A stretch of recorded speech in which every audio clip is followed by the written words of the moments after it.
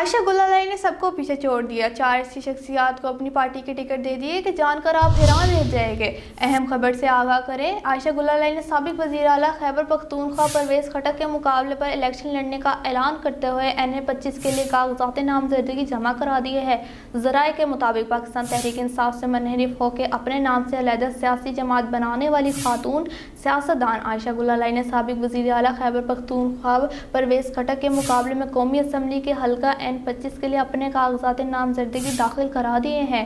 याद रहे कि इससे कबल आयशा गुलाई ने कौमी असम्बली की छः नशस्तों से बैक वक्त इंतबात लड़ने का ऐलान किया था। उन्होंने P T I chairman Imran Khan के खिलाफ रावलपिंडी से इलेक्शन लड़ने का ऐलान भी किया था। इसके अलावा उन्होंने इंतबात दो हज़ार अठारह के दौरान अपनी पार्टी की तरफ़ से चार ख्वाजा सराव की इलेक्शन लड़ने के लिए टिकट जारी कर दिए हैं।